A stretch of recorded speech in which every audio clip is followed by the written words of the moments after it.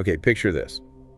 Curiosity, NASA's rover. It's way out there on Mars, you know, over 140 million miles away, rolling across this dusty red landscape. Yeah, doing its thing. And then suddenly, it just it finds something completely out of the blue. These bright, almost brilliant yellow crystals scattered on the ground. Uh-huh. Pure elemental sulfur. And that's the ticker, pure sulfur. Not what we usually see. Exactly. Not bound up with other stuff like we normally find it on Mars. It's Hmm. well, it's never been seen quite like this before there. And what just grabs you immediately is how unexpected it is. I mean, we knew sulfur was there, right? We've seen it tons of times in sulfate minerals. Right, sulfates, the stuff that often points towards past water activity. Precisely. So finding sulfur wasn't the shock, but Yeah. finding it raw, elemental, just sulfur, that's a whole different story. It gives us this really fascinating puzzle. Absolutely, and that's exactly what we're jumping into today. We want to uh-huh. explore, you know, the details of this find, how it connects back to everything else Curiosity's uncovered. It is a lot. Oh, totally. And crucially, why these yellow crystals might be, well, kind of a game changer for understanding if Mars could have once supported life. It's worth remembering, maybe stepping back a bit, that Curiosity was sent to this specific area because it's rich in sulfate. Yeah, that was the whole point, wasn't it? Exactly. The science thinking was solid. Sulfates often get left behind when water dries up. So this region was like prime real estate for looking into Mars's watery past. Finding sulfur in some form was definitely on the cards. But not like this. It was supposed to be sulfates, sulfur bonded hmm. chemically, you know, with oxygen and other elements. This is pure, elemental. Unadulterated sulfur, yeah. It's like imagine panning for gold and instead of finding flakes mixed in rock, you find a solid gold nugget just sitting there. Great analogy. It's that concentration, that specific form that's so, so intriguing. And Ashwin Vasavada, who's Curiosity's project scientist, he put it perfectly. Oh yeah. What did he say? He said, finding a field of stones made of pure sulfur is like finding an oasis in the desert. It shouldn't be there, so now we have to explain it. Wow. That really hits it, doesn't it? The uh, the scientific head scratching involved, it sums up that sense of discovery you go looking for A and find Z. Exactly. It forces you to rethink. And the timeline here is interesting too. They first spotted this stuff back in October 2023. Right, and then they had to follow up, figure out how to investigate it properly, which led to the drilling operation just recently, this past June. That's it, June 18th. Curiosity drilled its 41st borehole right near these sulfur deposits, scooped up some powdered rock. Yeah, and those samples are now inside the rover, being analyzed by its onboard lab instruments, ChemCam and APXS. And the big question is what else is in there with the sulfur, right? Precisely. That's going to be absolutely pivotal. Finding out what other compounds are mixed in or nearby could give us huge clues about how this pure sulfur actually formed. Like, was it volcanic? Mm-hmm. Or maybe something like hydrothermal vents, those hot spring type things we see on Earth? Could be. Or, you know, maybe it's some unique Martian process we haven't even thought of yet. The companion minerals are the key witnesses, so to speak. And the location itself adds another wrinkle. This is in the Gediz Vallis region. Which wasn't exactly a quiet place in Mars's past. No, not at all. Formed by ancient water flows, big ones, and landslides too. A really dynamic environment, geologically speaking. Which immediately makes you wonder, right? Could that very dynamism, the water rushing through, the rocks tumbling down, could that have actually created the conditions for pure sulfur to deposit? Maybe it exposed sulfur-rich layers, or maybe the water chemistry was just right in that spot. It's possible. Understanding that link between the geology and the sulfur is, well, it's vital if we want to piece together the story of Mars's ancient environment and, you know, its potential for life. Okay, so to really get the weight of this sulfur find, let's maybe zoom out a bit. Think about Curiosity's whole journey, this rover. It's been incredible. Oh, an absolute workhorse. Landed in Gale Crater way back in 2012. 12 years ago now, almost.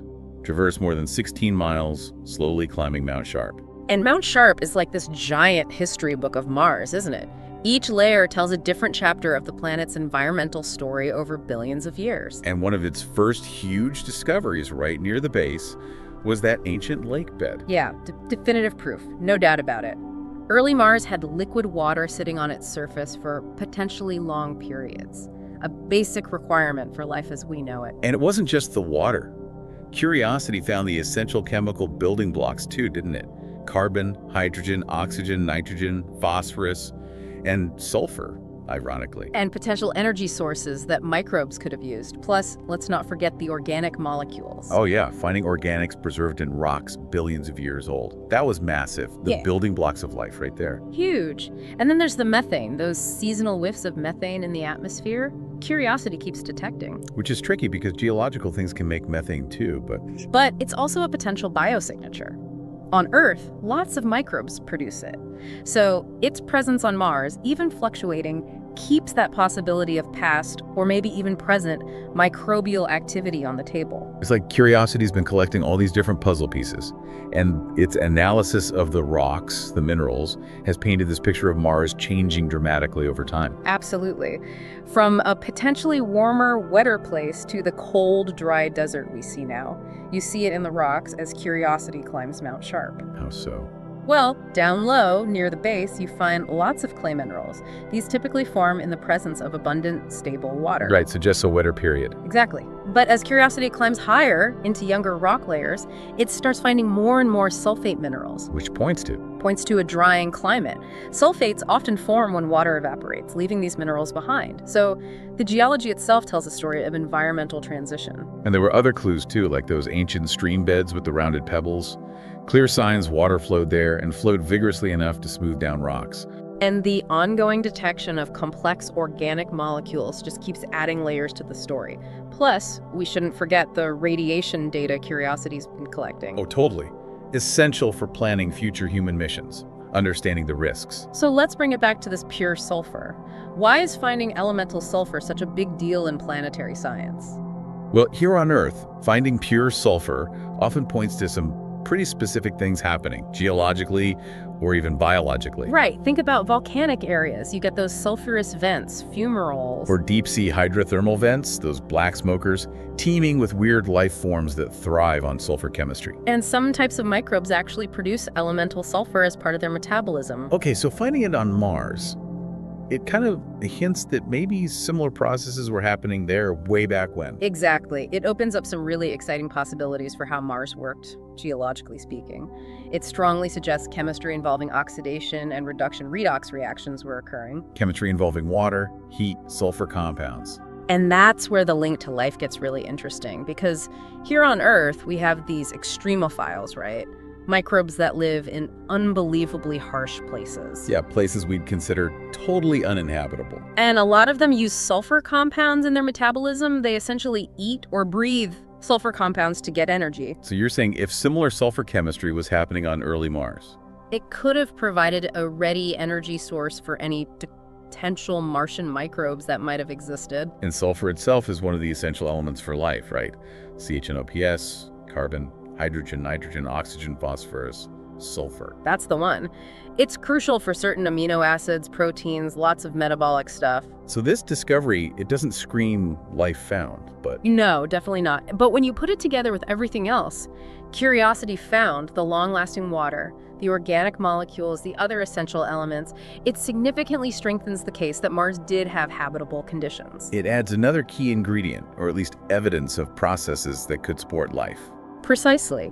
It makes the picture of a potentially habitable ancient Mars that much more plausible. The conditions seem to have been there. And Becky Williams from the Planetary Science Institute, she made a good point about the Gediz Vallis channel itself, the location. Oh, yeah. She emphasized that this wasn't some slow trickle. We're talking multiple big flow events, floods, debris flows carrying boulders. So, a really active, high energy environment at times. Yeah, highlighting how dynamic that region was, which, as you said earlier, could easily have driven some complex geochemistry, maybe leading to this sulfur deposition.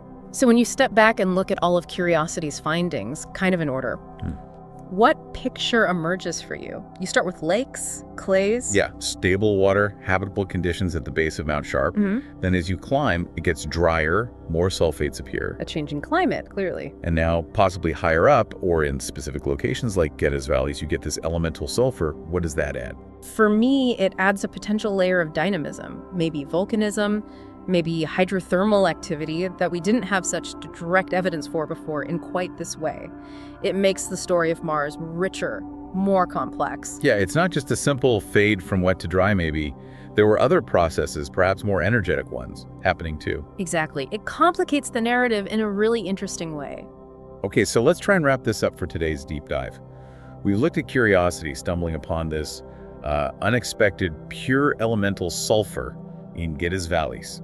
A really significant find. It points towards possible volcanic or hydrothermal activity on ancient Mars, which is super interesting because we see similar things forming sulfur here on Earth. And crucially, while it's not proof of life itself, finding this pure sulfur, especially when you add it to the pile of evidence, Curiosity already gathered, you know, the organics, the ancient water. It really does bolster the argument that Mars, way back when, likely had the necessary conditions, the right ingredients, and energy sources for microbial ecosystems to potentially get started and survive.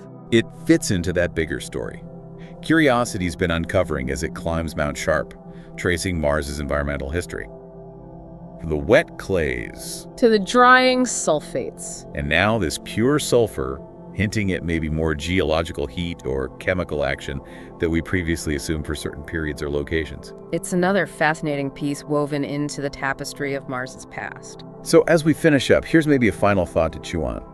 How might discovering pure elemental sulfur like this change how we think about habitable environments? Not just on Mars, but maybe elsewhere. That's a great question. Does it make us reconsider places with similar geology? Does it broaden the definition of where life might gain a foothold, maybe utilizing sulfur chemistry? Makes you wonder what other unexpected discoveries, what other kinds of oases might be out there waiting, doesn't it? Hmm.